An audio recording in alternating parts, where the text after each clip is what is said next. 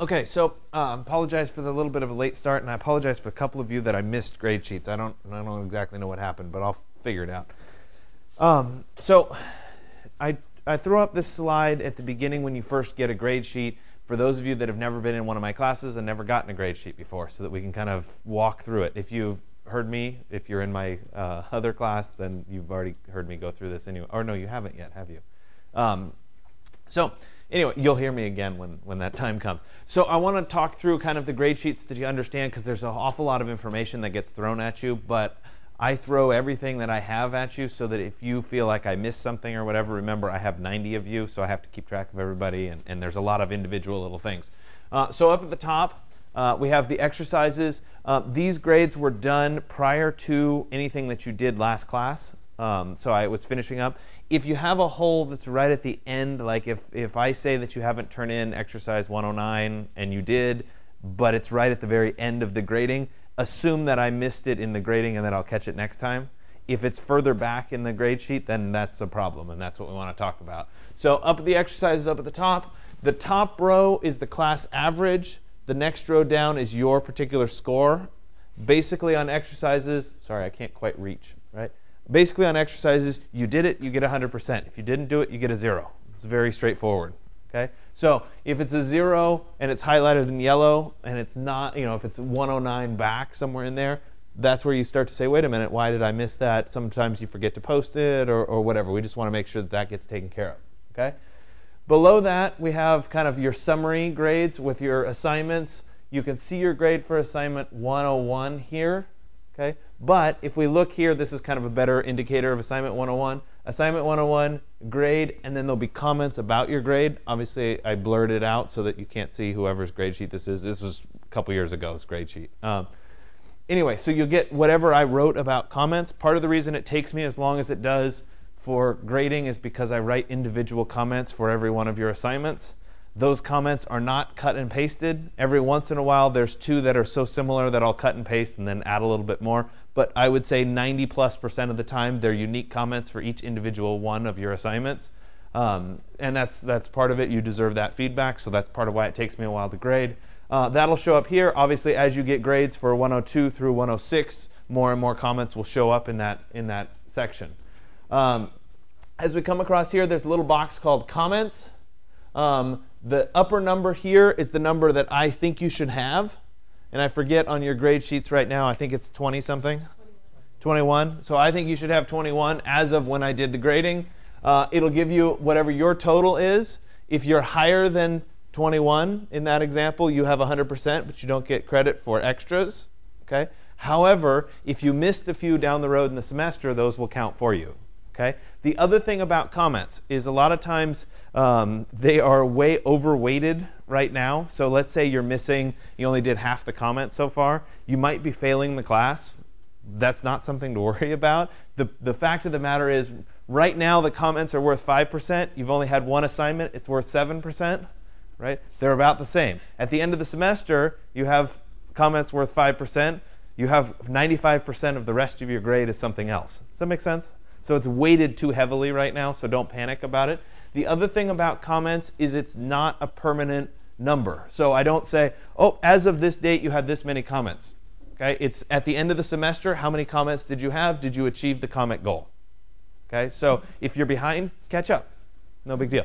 If you continue to be behind and you continue to wait and wait and wait to do comments, you will get to the end of the semester and have to do 50 or 75 comments and it will take you hours and hours and hours to do it. So it's much better to do it as you go along, three comments a day, than to wait. Okay? But you can, if you really want to wait until the end of the semester to write all of your comments, you technically can do that, though I wouldn't recommend it. So the comments is, is something that you want to pay attention to. Okay? Um, this box with the dashed line around it gives you whatever the class average grade was. In this case, it was an 87. Like I said, this was a couple years ago. The average grade was a B, right? This person had a 99% which was an A. Okay? Does it make sense? Yeah? So hopefully this is relatively clear. Again, lots of information um, to take into account. If you feel like you don't understand something that's on there, let me know. If you turned something in and I didn't mark it as being turned in, as long as it's not like assignment 109 or exercise 109 or something that I just probably didn't see, Um, if you did it, please let me know. I make mistakes. Part of the reason I give you the grade sheets is you can correct my mistakes in, in case I do make a mistake. The last thing I want is to have a mistake on your final grade. So I try very hard to give you feedback so that you know um, if there are any mistakes ahead of time. Are there any questions about the grade sheets? No? If your grade is not where you think it should be or not where you want it to be, don't panic. It's not the end of the world. It's probably because you haven't done enough comments yet. At this stage in the semester, that's generally what it is. Uh, remember, you can do a regrade for assignment 101 if you want. If you were unhappy with your grade and you want to submit it again, that's fine. I won't do the regrade until the end of the semester. So it won't, your grade will stay the same until the, the, the end of the semester, and then I'll go back and look at it if you want to do that. Okay, so today we're going to talk about typography, uh, which is essentially fonts and types. And I like to, um, to begin this whole lecture um, by kind of discussing something that I would recommend that each of you on your own time go watch. How many people have seen the uh, commencement address by Steve Jobs at Stanford from about mm, 2004, 5, 6, somewhere in there? Anybody seen that? Okay, so you all have homework and that is to go watch it. It's not very long. It's like 15 minutes. Okay? He talks a lot about typography in this particular speech, and I think it's very interesting. So you guys know who Steve Jobs is? Was? Yes, maybe. Okay.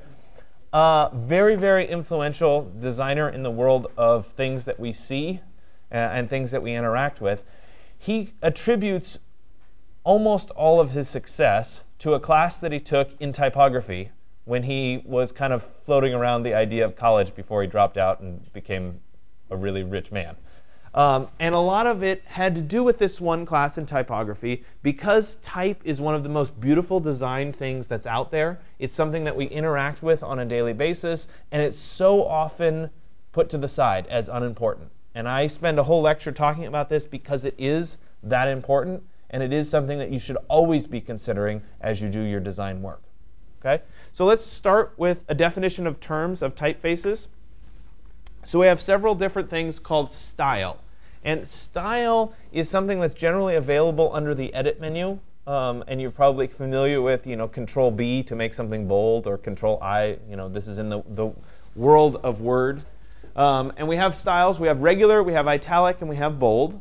Right? They're generally used to provide some kind of a contrast or an emphasis on a particular piece. Maybe you're, you're writing your English paper or your history paper and you have to do a little citation. You make the little citation in italics so that you know where it came from. Maybe you're quoting something and you make that in, uh, in italics. It's, it's meant to be um, something to, to kind of highlight a particular piece of your document. If you can, you want to choose the typeface, or excuse me, the style from within the typeface family right? And you may have noticed this and you may not have noticed it. The, the traditional way that we, we work with typefaces is we just go to the edit menu and we say make it bold or make it italic. Okay? That's not the same thing as picking Times New Roman italic versus Times New Roman regular. Okay? And I'll show you an example next. Okay? So this is an example in two different fonts of your kind of classic uh, operating system adjustment. So we have the word hazy normal, right? Then we have kind of an italicized version of it. This would be Control I, the normal way of italicizing things, right? Then we have the bold version and we have a bold italic version. Okay? Down here we just have an italicized piece of text. Looks reasonable, right? Slanted over, it's okay. Now let's look in contrast to what the version that is designed by the typeface designer looks like. Okay? So we take the regular one, obviously it's the same. The first column here is the same. We take this next one it's very different, right? Wouldn't you say? So the italicized version adds a little bit of extra flair. Look at the bottom of the Z with the little curl, right? It's just a little bit of extra, but it really changes our perception and our, the readability or legibility of that particular line of text, right? Similarly, the bold version has a lot fatter strokes. It's not uniformly thicker, right? If we compare this to this, basically all the operating system did was, was thicken the, the lines, kind of in an even manner. If we look at this, they really thickened this line and they didn't do anything to that line. Right? So the bold is again a design typeface. Okay? Let's look at the bottom one here. Here's the actual italicized version of the same font. So instead of just slanting the letters over, they've actually changed the design of the font. And that makes a big difference. So if you can, within the, the font family, you're, instead of choosing um, you know, Control I or, or Edit Bold with that, and I should say some operating systems automatically substitute um, so that you don't have to do it, but it's, it's better practice to make sure you go in and specifically say this, this particular font in you know, Times New Roman italic. Right? That's the right font to choose. So weight is a relative lightness or darkness of the letter forms themselves. Right? It's marked by changes in the line width. So we have a light, a medium, and a bold. Right? The best fonts will have light, medium, bold light italic, medium italic, bold italic, right? So we have this great combination of designed fonts, right? And that's considered to be a font family. Width refers, to different variations in the typeface width, right? So we might have a condensed version, a compressed version, or an extended version. Anybody ever use the extended version to make your paper a little bit longer? Maybe. You guys don't want to admit to it. It's okay. I don't. I don't ever ask you to write a paper, so it's you can freely admit that, right? I remember those days. It's kind of like when you change the point size, right, up from 12 point to 13. Just get a little extra, right? Doesn't make a difference. We can tell, right? So, x height refers to the height of lowercase letters without ascenders or descenders, which basically the easiest way to think about that is the height of an x, right? It's just kind of a basic letter. Um, Let's look at it in, in uh, oh, I'll do one more slide and then we'll look at the, uh, the example here. Cap height refers to the, the height of a capital letter instead of the height of a lowercase letter, right? So X height and cap height vary by which typeface you're choosing. Okay, that can change. And the baseline is where we measure from. So if we look at this graphic, I apologize, it's a little bit blurry here, right? We have a baseline that runs all the way across at the bottom of the, the letters here. The X height is the same height right, as a lowercase letter or an x, right? Then we have a cap height, that's the height of a true capital letter. We have something called a small capital. I'll talk about that in just a second, which is a capital letter that's the height of an, uh, the x height. Okay? And then we have ascenders and descenders, right? The tops of the B's, the bottoms of the G's and the P's and the Q's and that sort of thing that go below the baseline or above the X line. Counters are white spaces located inside and around letter forms. I think I can go back here. Counter here. That's a counter. That's a counter. This is a counter. Okay? So it's space in and around the letter forms. It affects legibility and readability and also the density of the text. If you have a really thin font at a really large size, right, it can have what's called an open counter. It has too much space for the thickness of the letters, and it can be kind of difficult to read or, or, or challenging to work with. The opposite is true for really bold fonts. So for example, errors here, it's a little bit hard to read at first glance because there's so much space around those letters. It's a thin font with lots of space, right? The, the small text here in errors in bold is a little bit hard to read because the letter forms are so big and the counters are so small right? So it's some combination of the two that gives us good readability and legibility. Small capitals are complete sets of uppercase letters that are the same height as a, as a lowercase letter, the, the, the, the x height of a particular font. Um, they're used when large capitals would draw too much attention, right? So let's say you're, you're typing up your English paper or your history paper and you need to use some all capitals. Like let's say you were doing, um, you know, the, the, the chiseled heading above a Roman building, like the Pantheon or something like that. Um, if you were doing that and you did it in the full cap height letters and it was in the text or the body of your, your paper, it would be just too big and too bold, right? So by switching to the small capitals, it's not quite as bold, but it is, in fact, the, the title and it has all the capital letters that you need. So it's a good kind of combination. A lot of times on the spines of books, you see that, um, or they'll use it as well. Acronyms, abbreviations, those kinds of things are also great. Lining and non-lining figures. Figures basically refer to numbers, right? In the, the world of typography, we, we talk about numbers as figures. Um, lining figures are a set of numbers with the same width and height as full capital letters. Non-lining figures are essentially numbers that have ascenders and descenders. And so sometimes it's easier to actually look at this in form. So lining figures, full cap height, one, two, three. Non-lining figures are the same as an X height. So we have a small 1, we have a small 2. The 3 goes below the baseline. Right, you've probably seen this before, like in a Garamond font or something like this. It has this kind of a 3. Um, it's great for using numbers in, in a paragraph of text. So if you need to, to have a set of numbers, um, again, just like the capital letters, if you had the, the, the true lining figures with the big cap heights, they'd stand out in a paragraph of text. So if we have the non-lining figures, they don't stand out as much, which can be an advantage. Okay? Ligatures are specially designed characters produced when combining two or three letters together. Um, they're replacing letters that would otherwise collide. So if we look at these, uh, the upper row here are the most standard set of ligatures. Most fonts, if they were designed by some kind of a typeface designer, have these built in. So if you type F, F, and I in a row, the font automatically combines those together. So here are the, the ligatures off. F and I, see how we have the extra dot kind of next to the top of the F, right? Or F, F, and I. These are separate Fs, okay? This is the kind of the same thing as when you when you write by hand and you have two T's together, you cross both T's. You don't do two separate little lines to cross the T's.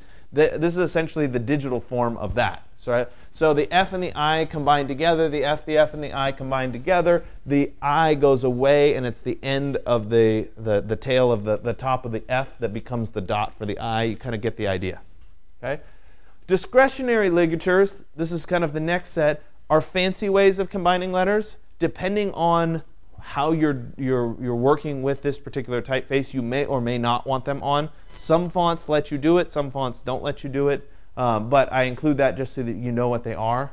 Um, in some cases, they're just, they're kind of nice, right? So in this case, the Q, the tail of the Q changes a little bit, which is nice. Some of these are a bit much, right, with that, but it is what it is. Uh, and then these contextual ligatures are very, very subtle. The best typefacers uh, or, or type designers in the world are going to use this kind of stuff. The expectation that you would use it is not very high. It's extremely subtle, right? the difference between the V and the Y here, they kind of collide, right? Little bit of extra space right there. So just really subtle.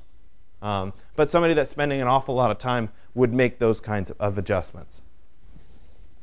So how about choosing the right font? Anybody ever done a poster for, say, 121 and had Daniel or Marlon say, uh, why don't you try this again with a font that, that matches? Maybe, right? Probably because you used Times New Roman and you were doing like a Mondrian poster or something, right? They didn't match up. So we have to choose the right font. You have to think about what is the longevity of the piece, right? How long do you want this to exist? Is it timeless? Is it not timeless, etc.? The best example I can have of this, and this is again probably dating myself. You guys ever see Lord of the Rings, the movies, right? I know that, that this is like ancient history for most of you. You were probably not even born yet. It's scary. Uh, anyway, so they used in the beginning of that uh, the the little I don't know the little font that was shown when they were doing little titles and, and whatever was a font called Papyrus. Okay, so this is circa maybe 2001 ish. Okay, Papyrus. Okay, that was the font that they chose and whatever. If you go back and watch the movies now, you look at that font, you're like, oh, it's so overused, right? Because it became this really big fad in kind of 2002 to 2005. Like this papyrus font ended up being like on every menu that you looked at in a restaurant. And it was just, it was way overused. And now it looks really dated because it was just tied to that particular time period, that particular movie. Uh, and so when you're designing something with type in it, you want to think about if you're using a particular font, is it going to go out of style because it's really in right now and it won't be really in down the road, right? There are certainly fonts that are very classic that will not go out of style. And so you could use those to get uh, a little bit further. What is the purpose of the piece? Right? If it's something that you're you're going to want to, let's say it's a book and somebody's reading it, you would probably pick a font that is a serif font so that it's easier for the people to read versus a sans serif font that doesn't have the extra little um, tails that make it more difficult to read. So you want to think about what's the purpose of this particular piece. Is it innovative? Is it outdated? Right? This maybe has to do more with display fonts than anything else. Is it traditional or is it too conservative for what you're trying to, to, to show in your particular design?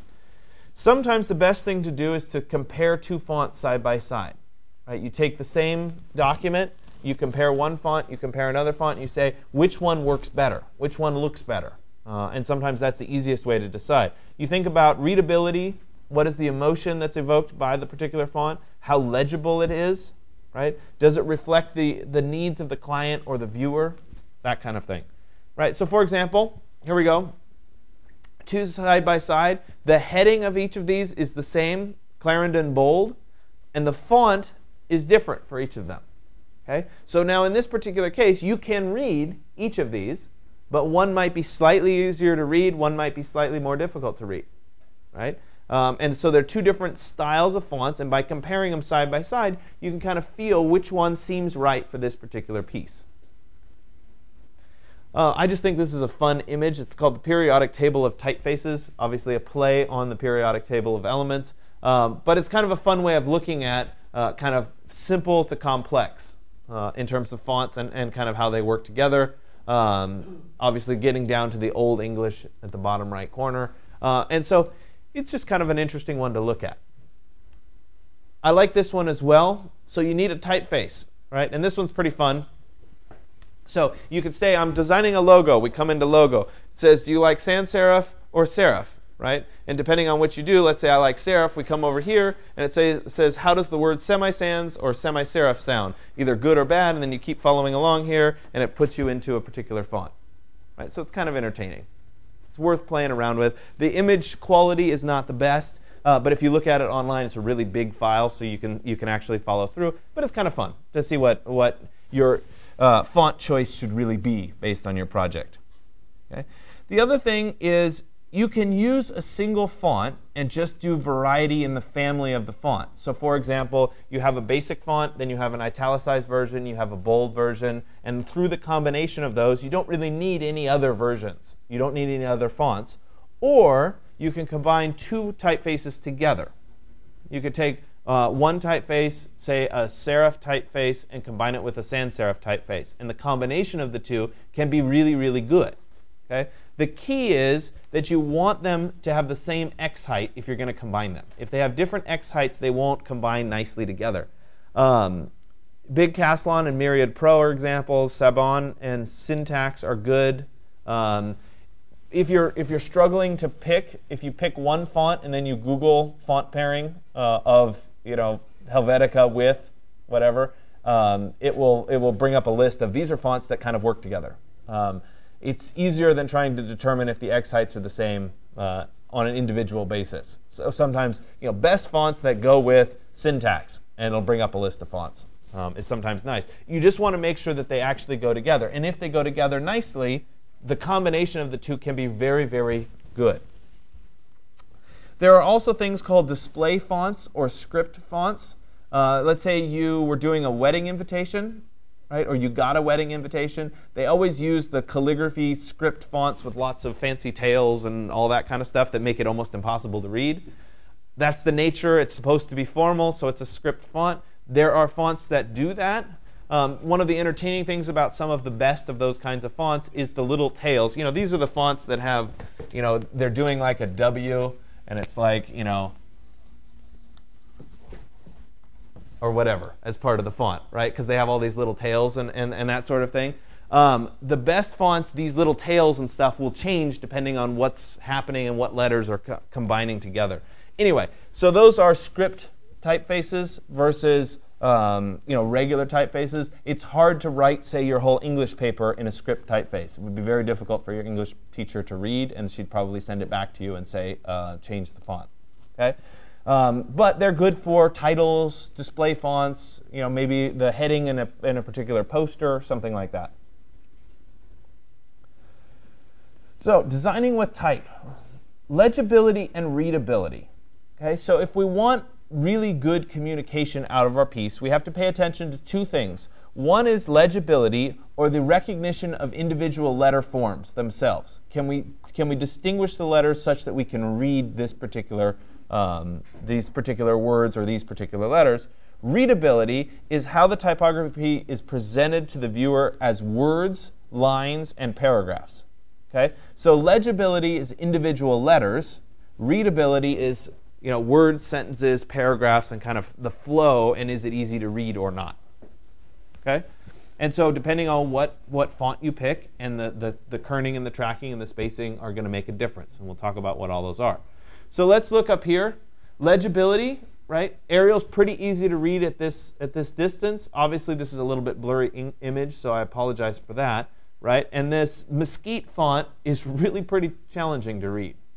Okay? But if you were doing a, a heading for like a backyard barbecue or something, the Mesquite font might be appropriate.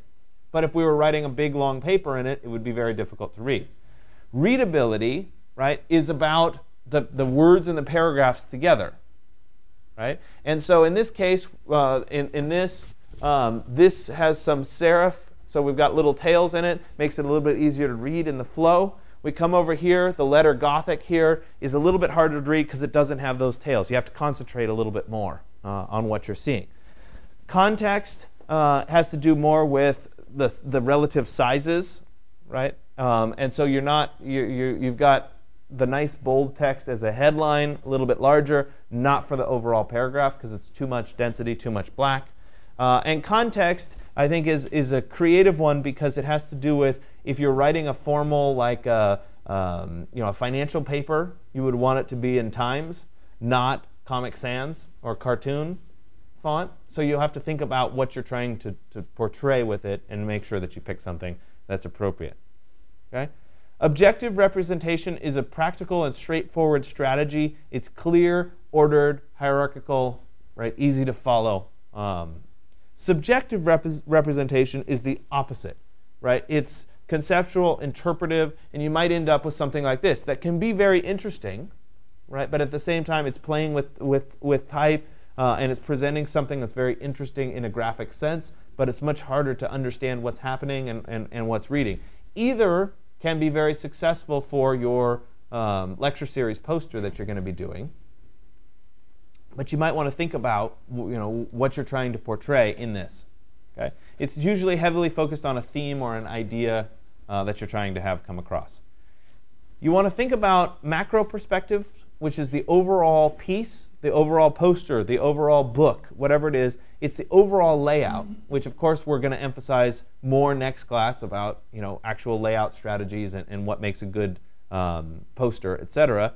But it establishes the format, the overall format of the composition, uh, contains some kind of a typographic hierarchy, right? Uh, this could be in different fonts that are being used, different sizes of fonts, different boldness levels of fonts, etc., so that you have some natural order to the, to the document. So that's the large scale perspective. Micro perspectives are the small details, right? The kerning, the spacing, the ragging, we'll talk about what these are in a second, to ensure a really clean presentation. So we want big scale stuff and small scale stuff, right? Overall document to spacing between individual letter forms. Right? Those are critical. Right? Something like this, it's not even in a language that I can read, but it's really nicely done. Right? We have this nice thin italicized heading. Below that, uh, we have a nice kind of font that fits well together. We have the use of the small caps here without providing extra emphasis. So it's just a, it's a really nicely um, executed piece of text symmetry and asymmetry can be advantageous or uh, disadvantageous. Uh, we'll talk a little bit more about this next class when we do overall graphic design layouts and, and presentations. Symmetry is balance and harmony. Asymmetrical is generally activity and motion or excitement, and so that can be an advantage or a disadvantage depending on what you're trying to do. So it's not that one is better than the other. It just wants you want to think about it uh, in terms of your um, desired outcome. Alignment is the horizontal and vertical position of the typography within the margins.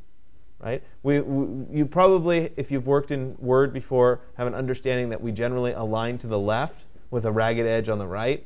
You could align to the left and justify to the right so you have even margins on either side, but it makes the spacing rather wonky. And we'll talk about this live um, in, the, in the world of InDesign in a little bit.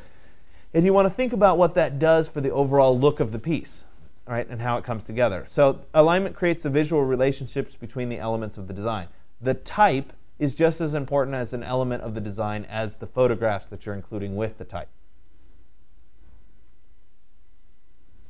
Typographic color refers to the density of the typographic forms uh, and the elements and their perceived gray value. So I chose this image because you can't really read the text, right, because it's a little bit too far away on the projector. But if you kind of squint at it, right, you can pull out which paragraphs are darker and which paragraphs are lighter, right? So depending on your font choice and the general density of that paragraph, the size of the font, um, that can play a big role as to what draws your attention or what doesn't draw your attention. So this is as active an element as, say, a photograph that's on the particular page. Right? So a bold paragraph is going to stand out more than uh, a very light paragraph, and that might be an advantage or a disadvantage. So you really want to think about typographic color as it starts to play into your overall uh, design. Type size is measured in points. This is something you're very, very familiar with, right? Default Word 12 point font. Bump it to 12.5 because you need a little extra space, right?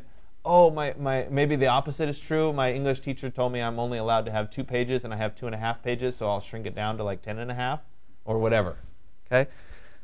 Those are known tricks, right? We've all been there. We were all students once too. I remember doing that, okay?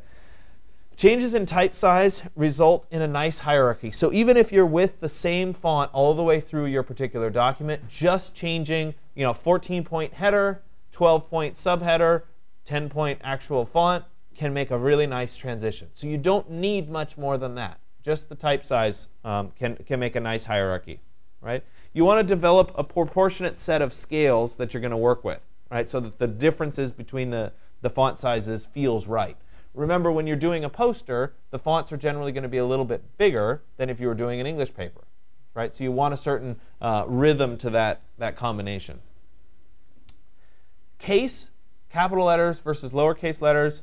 Generally speaking, lowercase letters are much more readable than uppercase letters. So if you want somebody to read a long paragraph, the lowercase letters are, are really a nice way of doing that. Uppercase letters emphasize letter to letter recognition. Okay? So if you think about an architectural drawing, for example, do architects write in uppercase letters or do they write in lowercase letters? Uppercase, right? So we, we make everything large uppercase letters, and we're emphasizing we want you to read exactly what we're saying here, right? Not just kind of glance over and, and get a summary of it. So that's an intentional thing that we're doing, right? Letter to letter recognition. So for example, you guys may have seen something like this right? If I, if I asked you to read this, you could do it, but you'd really have to concentrate on what all those letters are and what they say.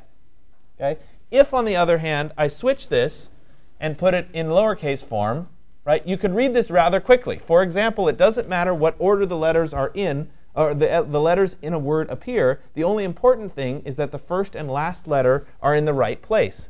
The rest can be a total mess, and you can still read it without a problem.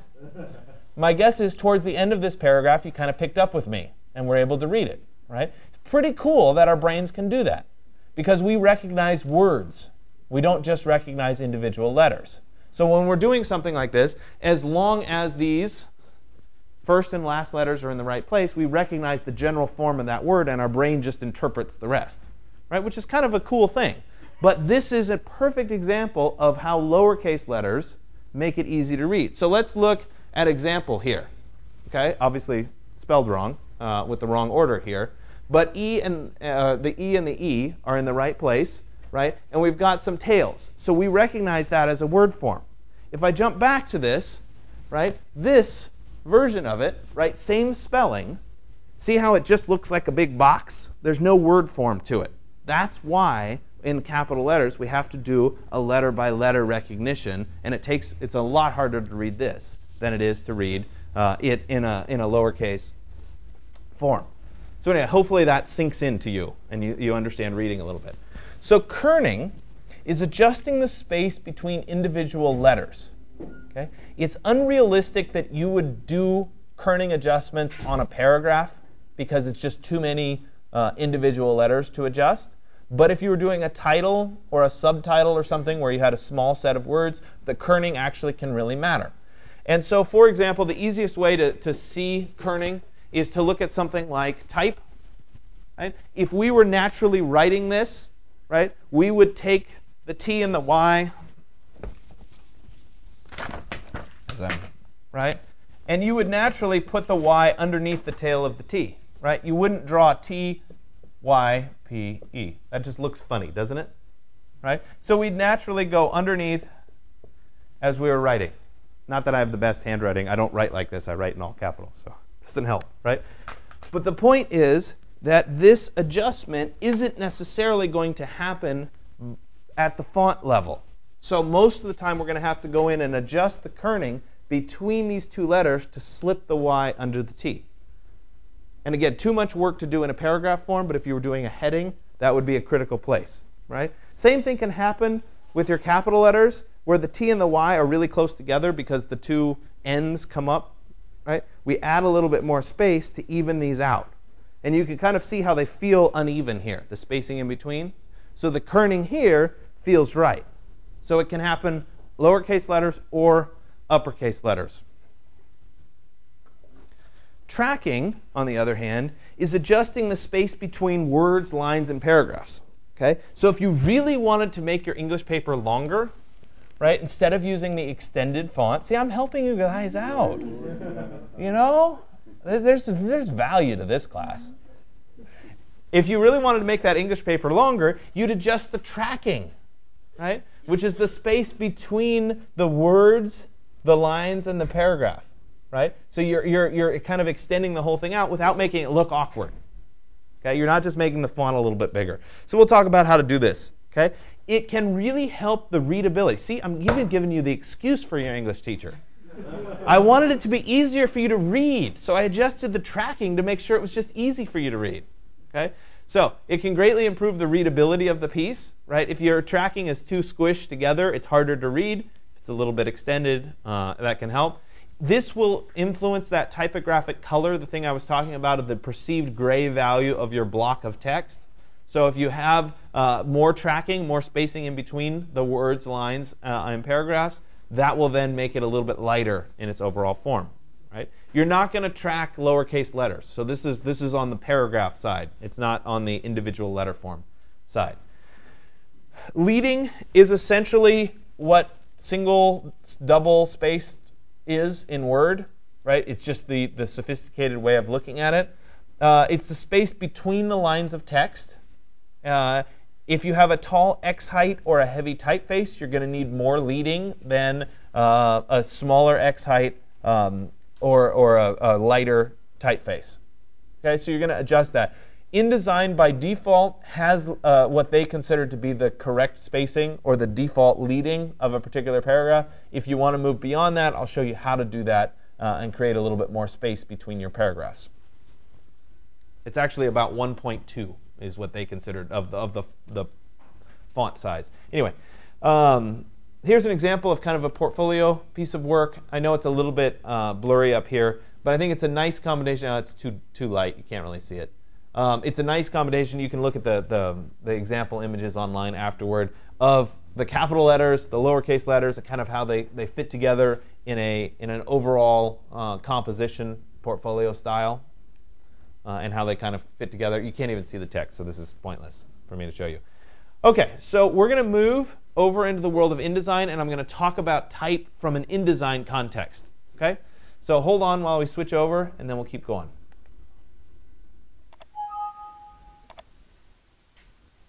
Okay, so today we're going to work on the world of InDesign uh, relating specifically to typefaces.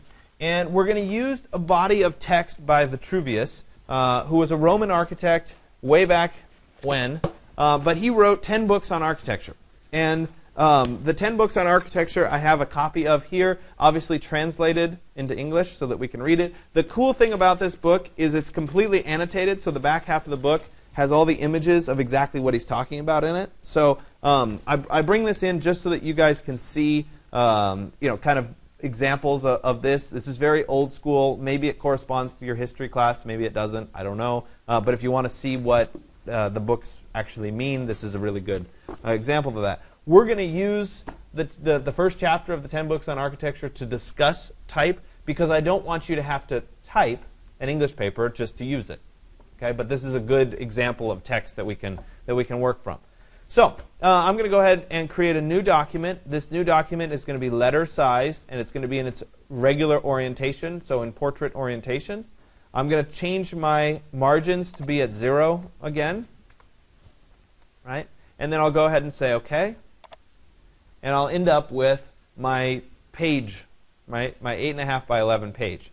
Once again, I'd like the units not to be in picas, but to be in something that I can understand. So I'll right click on this little crosshair and change my units to be in inches. And so now I can see that, yes, my document is 8.5 inches by 11 inches. Okay? I'm also going to go ahead and open up the Digital Tools for Architects website here and go to today's exercise. And I've included for you a Word file that has the first chapter of Vitruvius in it. So I'm going to go ahead and go to exercises here.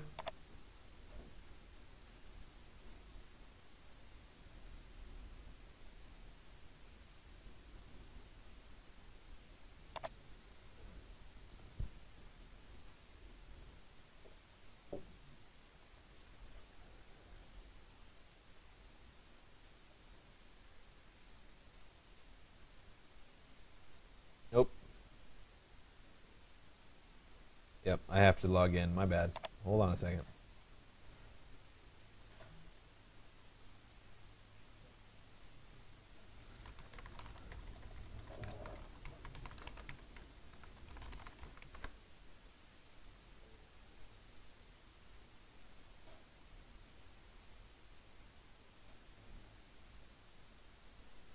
All right.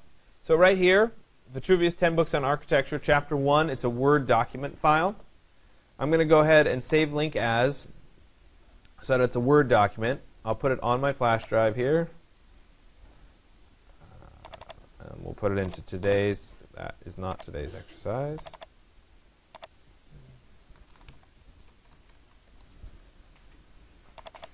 And I'll go ahead and save chapter 1 as a Word document.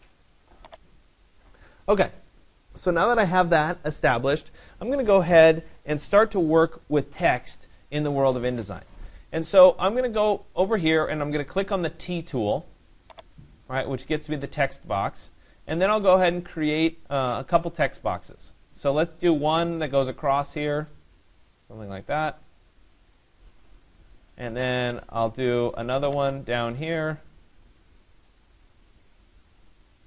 about like that. And we'll do another one down here, uh, about like that. Okay? So I quickly created three text boxes. They're just empty. And now, because InDesign works with referenced linked files, I can go to File and then Place, and I can bring in that Word document. But before I do that, I want to select the first box that I want the text to fall into. So let's say I want it to fall right here. I'm going to go to File and then Place, and I'll go into my exercise 110 folder. There's my Word document, my chapter 1. And I'll go ahead and click open. And it brings up this little dialog box that says I'm missing fonts. Uh, one of the reasons that I've never gone and corrected the fact that we're missing the font is I want you to have to deal with this because it will happen to you as well. Uh, so it says it's missing a font. I can click on Find Font and substitute. It says it's missing Times New Roman. Right? So I can substitute that with times, maybe, Times New Roman here. So this one is called Times Roman, not Times New Roman. So anyway, so we'll go ahead and change all. And this one is the Times New Roman. There. And we want this one to be bold. Change all. And then done. So you see that when I did that, my text stopped being highlighted in pink right, and is now highlighted uh, as it is normal. Okay? So I was able to place the Word file directly into that text box. Okay? Now the Word file itself, if I were to open it, obviously has the whole chapter in it. So let me, right? So here's the Word file. You could see that it contains the chapter. Okay? this text box that I just dropped it in obviously doesn't contain all of the, the Word file. No surprise, it's not big enough. But do you see how I get this little red box at the bottom here? This little like red box with a plus sign in it? That little indicator says that there is text that goes beyond what can fit inside this frame. So if I use my black arrow, my selection tool, and I click on that little red icon, you can see that it loads up the next piece of this Word document. Okay, and I get a little preview. And then if I click into this text box, for example, right, the text continues right into that text box. Okay? Furthermore, I could click on it again, and I could continue it into this text box. Okay? So, kind of nice to be able to, to automatically flow. Now, it would be, you, could you do this? Let's say you did it in Photoshop. Could you do this? Sure.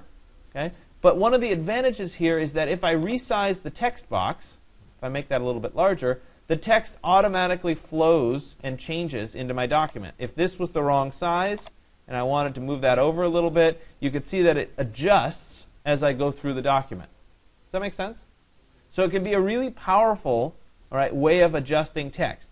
In fact, it's probably powerful enough so that when you do your next history paper, you might choose to do the final layout in InDesign rather than in something like Word, right? Because you have a little bit more flexibility. Specifically, if we wanted to work our way around some kind of an image. So let's say that I take this and I'm going to delete that, and I'll take this piece and we'll make it wider, something like that. Let's put this up like that. And you see how I'm, I'm, I'm, making adjustments and the text is automatically flowing through it. Now let's say I wanted to drop an image into this. Right? We could create an image frame say something like this. And I could go to File and then Place, and I could put in some kind of an image. Now I'm just going to pick something from last class. We'll drop this in. Let me go to Fitting, and we'll fill frame proportionally. There we go. Now, right now, the text goes behind this particular image. But if I click on it, right, I'm going to change out of my Essentials mode up here in the right into typography. That's what we're doing today. So it's beneficial to go there. Once I'm in typography mode, there's a button for text wrap, which I can click on. And now I can specify, do I want the text to go around my particular object? So let's say I want it to go around my object. And now it's going to adjust the text to go around the object that I placed on the, on the screen. The cool thing about this is if I moved my object, the text is going to move around that particular object no matter where I put it. Right? Anybody ever tried to do images in Word? Right? It's horrible, isn't it? Especially if you try to put more than one image on a page. Okay? Well, guess what? In the world of InDesign, I can put as many images as I want, and the text will just automatically wrap around it. Right? Sometimes you need a little let's say it was on this side, over here, something like that. See how this is really tight to it? Okay? These represent the borders so I can actually add some padding around my particular image so that the text is never too close to my image. Okay? So again, very, very usable right, in terms of how this, how this works itself out. Okay, so let's start to talk about the text itself a little bit more. So let me move this. I'm going to move this up a little bit higher on the page. I'll move this up higher on the page as well. Make sure it's centered. And then I want to start looking at, let's zoom in. Let's start looking at this chapter 1. Okay? So remember, we talked a lot about um, adjusting the um, tracking, the space between individual letters. So let's zoom in so that we're just looking at chapter 1. So if I were looking at this as a font, right, the, the spacing here is a little bit awkward. Right, and we can kind of tell that. So if I put my cursor in between and I come up to this ribbon up here at the top, right, I have a variety of options. The first option here is my tracking, right, and I get a little line in between those two. That's how I know it's the tracking. Uh, this is the, did I mix those up? Is it kerning or tracking? I always forget. The kerning is the overall spacing in the words, which is here. So let's look at tracking first, right? And let me go ahead and adjust the tracking. And I'll go in between each letter form here. It's wrong direction. supposed to go up.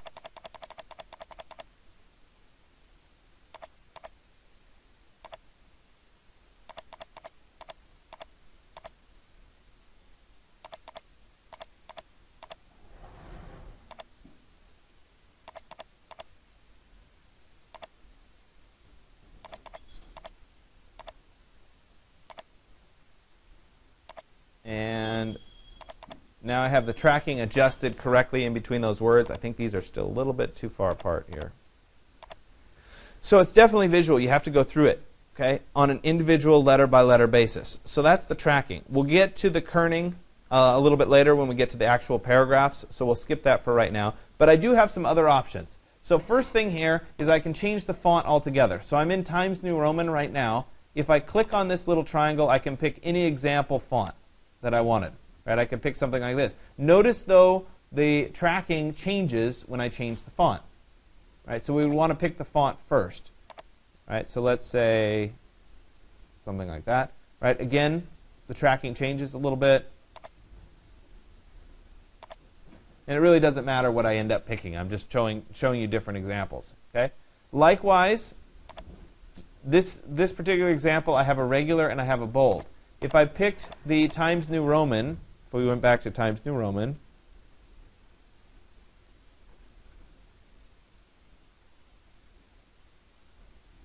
if I can find it, right? Built into this font, I have regular, italic, bold, and bold italic, right? So I have different um, samples, right? And it's not just an italicized version right? They've actually adjusted some of the, the, the, the um, letter forms themselves. Anyway, but I can also adjust right here the size. So we're at 16 point. Maybe I'll go to 24 point to say chapter 1. Below that, right, this is the leading or the spacing between letters. So I told you it has a default value. So I have a 24 point font. The leading is 28.8 points. Okay? So it's a little bit more than single spaced. I can adjust this value either using one of the presets or I can type in a value. If I want went to double spaced, I would go to 48 point, and that would then uh, change. Now, in this particular example, um, we don't have lots of paragraph of text. We would see that much better uh, down here in the paragraph form. So if I went here, it's 16 point font, and if I went to 32, right? Oh, I got to select the whole thing here. We'll get to the paragraphs in just a second. If I selected this and I went to 32, right, we get double spaced. So you see how I calculated double spaced? That's why it's called double spaced. Anyway, the default value is the one that's in parentheses. So if I went back, well, we'll leave it like that. You get the idea. Okay, I'm just trying to go through my options here. Uh, so we have a few other things that are available to us. If we want to do superscripts and subscripts, we can do that. There's a strike through option that's available as well. As we continue on, I can adjust a few other things. Um, I could adjust the position of an individual letter. So in this case, this would stretch um, one individual letter to be taller. Right? So it's in percentages. So if I went to 150%, for example, that one letter would get stretched to be taller. Uh, it's not very common that people do that in practice, but it is available to us. I can also adjust the vertical position of this letter. This would be if you wanted to do like an exponent or something, you could do it. Uh, or if you wanted to do first, if you were doing like 1 st, something like that, I could take the st and adjust it to be high, something like that, within the context of the, te the, the text itself. Make sense? Yeah? Okay, so that's the, the superscript if you wanted to change. I could change the width of an individual character. So the R here, I could say, let's do it at 200%. And the R gets fatter, okay, wider. Again, less common that people would do that. If the font didn't have an italicized version, I could take a particular piece of text and add a degree of slant to it. Now again, it would be far better instead of doing this to use the italicized version because we talked about the letter forms themselves are better. So let's take that back to be at 0. Okay, so that gets us through the bulk of the, the individual character options. Right, as we come over into this section, we have more of the paragraph options. So let me come down here to the paragraph. Press Control 0 to see the whole thing a little bit. We press Control plus so we can zoom in. And so this particular section is the paragraph options. So my justification options are available. If I wanted it right justified, for example, I could change uh, to right justified. There it is. Sorry. Right. Left justified, centered. Right. This should be relatively obvious. Okay. I can also choose, let's keep it left justified. I can choose to indent the whole paragraph. So this first option is to indent the whole paragraph. There it is. Again, it flows through all of my, my text. So as this gets longer, it pushes down. Uh, I can indent the right side of the paragraph for some reason. I've never found a need to do that in practice. I could indent the first line of the paragraph. I could also indent it negatively so that it goes backwards. Right? Or I could indent it you know, forward depending on, on what you were trying to do. Um, this would be to indent the last line of the paragraph. Again, don't quite understand the use of that, but it's available to us if we wanted to. Okay, uh, okay so this next option here would be what's called a drop cap. And a drop cap controls whether I want the first number here to take up two lines of text. So if I say I want it to take up two lines of text, hold on, I have to select the paragraph first. Right, I want a drop cap right? That is one or two or three lines of text. So there it is at two lines of text. And I can control how many characters are part of that drop cap. You guys have seen this done in, in books and stuff before. Okay, That's called a drop cap. Um, I can choose on the paragraph, and again, I have to select the whole paragraph. I can choose to hyphenate the paragraph or to not hyphenate the paragraph, depending on whether I want that or not. Magazines tend to be hyphenated. Books tend not to be hyphenated. Food for thought. Okay? So all of this is great, right? But it's kind of difficult in the sense that I've done all this work to one paragraph, but I didn't do it to any of the other paragraphs. Okay? So in reality, when we're working in the world of InDesign, yes, doing some individual work on particular paragraphs is useful, but many times it's useful to save the settings that we have so that we can use them over and over again. And so we do that using something called a paragraph style and something called a character style. So let's start with uh, character style. So over here on the right column, again, I have typography selected as my, my choice uh, workspace here. I'm going to click on character styles, and right now I have no character styles. It says none. If I click on this new icon down here at the bottom, I get something called character style 1, and I can rename this character style 1 uh, to be something, I don't know, first number. Right? Or subheading or, or whatever. And if I double click on it, we bring up the character style options. And so in the character style options, I can go to basic character formats. And this is where, for example, I could pick the font that I wanted to pick. So let's say I wanted to do uh, Berlin. I could specify that the font needed to be larger. It needed to be 24 point. Um, I could specify what the leading on that particular needed to be. Right? Again, we have access to kerning and tracking, case, and position. Case would mean that I could do small caps or all caps. Small caps, remember, are X height capital letters. All caps would be full cap height letters. Okay. Um, I could control position. Do I want it to be a superscript, etc. I could also turn on and have it underlined, etc. I can come down here into advanced character formats. Probably not much you're going to do there. But I could change the character color. Right? So for example, I could make that uh, particular character a particular color. Right? Maybe I'll make it blue for uh, let's make it red. Okay? We could come down here, not a lot there. Underline if I wanted that on, if I wanted strike through on, etc. Okay, so I'll go ahead and say okay. And that then saves my first number character style. So what I can do is I can go through my document and anywhere I need that character style, I can click on first number and it changes the font, the color, and everything that I've set up. And I can use that over and over again on any place in the document. So maybe I would set up a character style for bold text. right? And I'll go into character formats, and I might actually specify a font, right? Let's go back to Times New Roman, and we're going to keep the size here at 16 point, right? If, by the way, I put nothing in here, this character style won't change the size of the font from what it's currently selected as. Okay, so if I put nothing in there, that's fine. If I if I got the if I deleted the font, I don't know if it's going to let us delete the font. No, it's not going to. Yes, it will. There we go. I could specify that no matter what the font is, I want it to just be bold, right? Which is probably the best way of doing this. Okay, we'll get rid of the leading here as well, and I could come through and I could do something with with the color, for example, if I wanted to. So I'm going to go ahead and say OK for bold text, and then I'm going to specify that this is bold text and that this is bold text, and that this is bold text.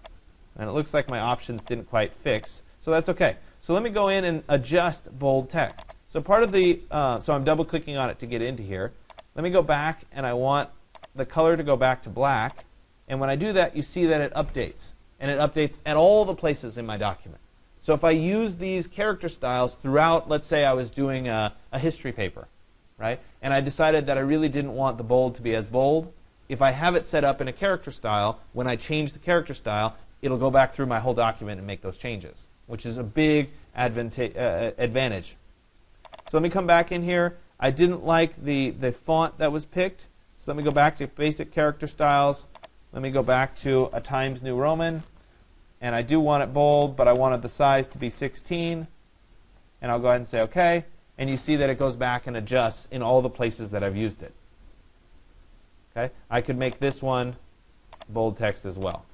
Okay, so that's one of the big advantages. Um, again, if I picked another thing and I said bold text, it would apply to that field.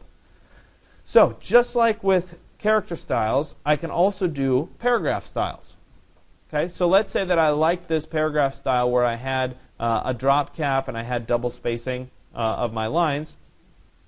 I could come back and I could select this paragraph we could go into paragraph styles. I could create a new paragraph style. And then I could come in and I could do a lot of the same edits. Now notice that I still have basic character formats because I can override an individual character style with this paragraph style. Right? Or I can ignore that altogether. I'm going to switch this back to my Times New Roman.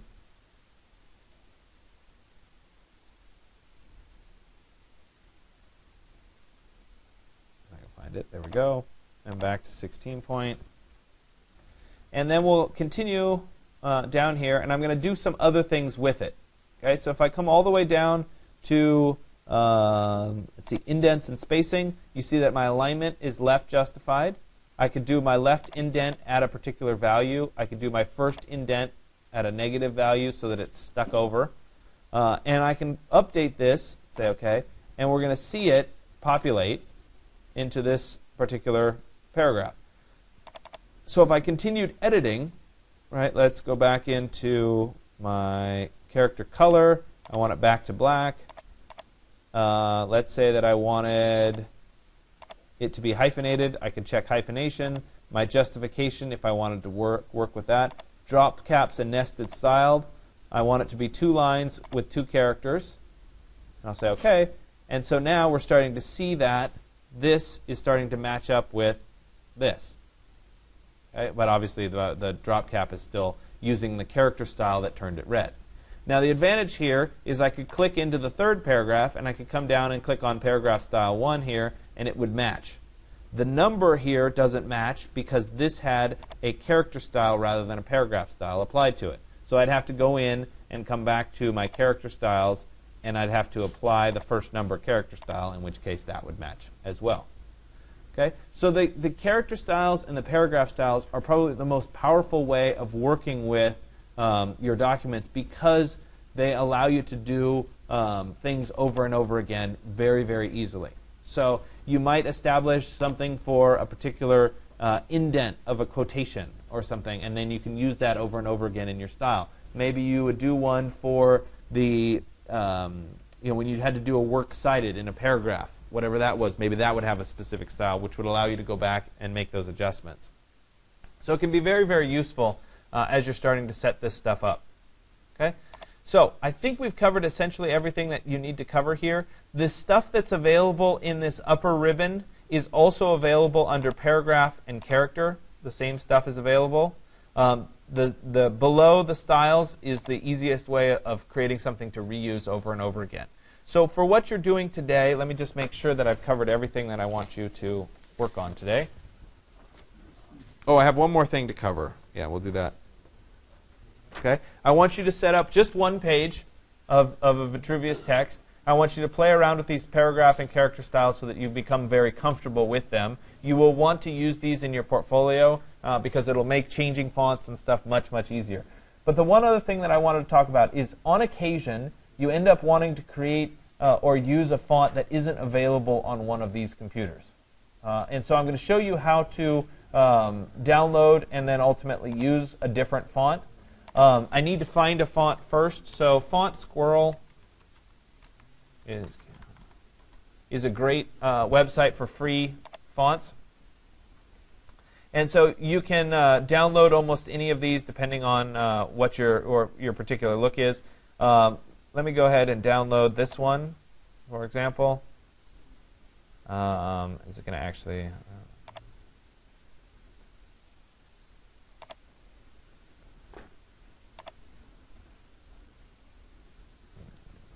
Let's go back. That one's going to make me do some kind of checkout thing. All right, so how about this one? There we go. So that one downloads as a zip file. I'm going to go ahead and show it and then copy this to my flash drive and then extract it on my flash drive. So this would be a great place to have a resources folder called fonts for any fonts that you want to use over and over again. Um, let me go ahead and extract this right into this folder. And there we are. Okay, so there's the font. Now, unfortunately, because these computers are locked, you can't just install it on one of these computers. So we have to have a way of, of temporarily installing it. And there's a great portable application that's available. Uh, I have a link to it on the course website that will allow you to temporarily install a font. If I go to tutorials, Digital Life um, 0.15, the AMP font viewer, This will walk you through how to um, how to install it. I'm going to go ahead and go to its actual page, and then I'll click on Download Now. From the external mirror one is fine.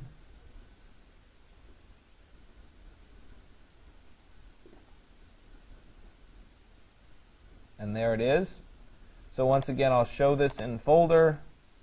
Let me copy it. and this would go into my flash drive. Um, again, in my resources, in my portable applications folder, excuse me, and then I'll go ahead and paste, and we'll extract this as well. And so what this does is it presents a little tiny application that when I double click and open it up, it will let me load in a font that isn't on these computers, just temporarily for me to use. So I'm going to go to the tab for not installed fonts, I'm going to go to my flash drive, and I'm going to go to my resources folder, and then to my fonts folder, and there's that font that I downloaded. And I'll come down here and I'll say install font temporarily. Yes. And so that just added it to my um, font list. Now, because this is just kind of running in the background, instead of closing this app, I have to just minimize it so that I can keep working. Um, and that font should be available in InDesign. Every once in a while, it's not available um, when you first go to select it. And I'll see if it is. I think that was it, right? What was it called? Caution script. Nope, wrong one. Started with a K, but I was wrong. So it's not available here. So I'm going to go ahead and go to File, Save, save my InDesign file. So this is my exercise 110 file. We'll click Save. I'm going to close InDesign. Again, not closing this, we're just leaving this open. And I'll go back and I'll open InDesign again. It'd be great if I could find it.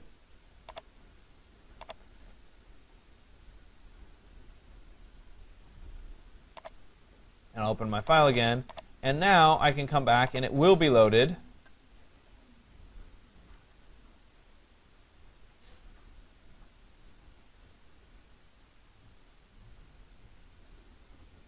Is that it? No, there it is. Right? And so there's that font that I downloaded. Okay? So you can see that I was able to load in whatever custom font I wanted. So if you have a particular font that you like for your poster or something like that, feel free to go find it and then use it. Right? Just because it's not on these folders. Uh, uh, there are several really fantastic websites. Font Squirrel is one of them uh, that offer lots and lots of free fonts um, for you to use that are just they're great different uh, fonts. So something like this is a, is a good example, um, just as kind of a headline font. And you can keep looking at what other people have come up with. Uh, we can go to the hot category, hottest today, so you can see what people have been downloading. And so you can see there's a variety of different uh, fonts that are available, and that can really make a big difference when you're doing your design project. Right? Many of the best graphic designers have their own list of fonts that they tend to use um, over and over again. Okay? Are there any questions no? All right. I'll turn you loose. Um, you're going to post a JPEG of this single page. So just as you did before, once you get it established the way you want, you'll go to File, Export, change this to JPEG, save. Make sure here quality is at least high or maximum, resolution at 300, and then export. This is what you'll post uh, on the course website today. You only need to do one page. And we'll talk about multi-page documents as we go forward. All right.